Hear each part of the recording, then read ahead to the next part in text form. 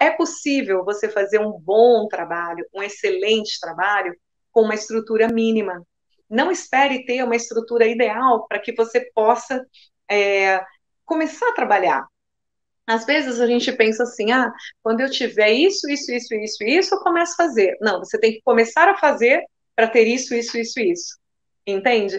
É, as pessoas que trabalham comigo na produtora, ou as pessoas que estudam comigo, sabem que eu sou muito adepta do fazer mais com menos. O que, que eu quero dizer com isso?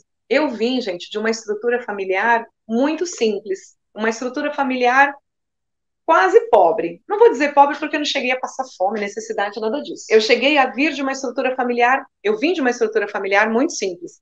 Eu morava num bairro em São Paulo, isso é até curioso falar, não tem, né, mas é curioso, chamado Capela do Socorro. É um bairro da Zona Sul, né, lá do extremo da Zona Sul de São Paulo. Como meu bairro chamava Socorro, era um bairro tão perigoso e pobre que a gente falava que era o jardim mão na cabeça. Então, assim, eu sei o que é fazer mais com menos e hoje, ainda hoje, né, hoje, graças a Deus ao meu trabalho, a todo esforço, estudo, muita coisa, a minha vida mudou significativamente, né, hoje eu moro aqui em Miami Beach, na Flórida, tenho acesso a todos os equipamentos, tudo que eu quero comprar, eu posso comprar. Mas não é esse o ponto. O que eu quero dizer é que mesmo tendo hoje essa condição, eu penso sempre que eu posso fazer mais com menos. Se eu posso trabalhar é, gastando 500 reais, fazer um trabalho com 500 reais, por que, que eu vou gastar 5 mil reais para ter o mesmo resultado?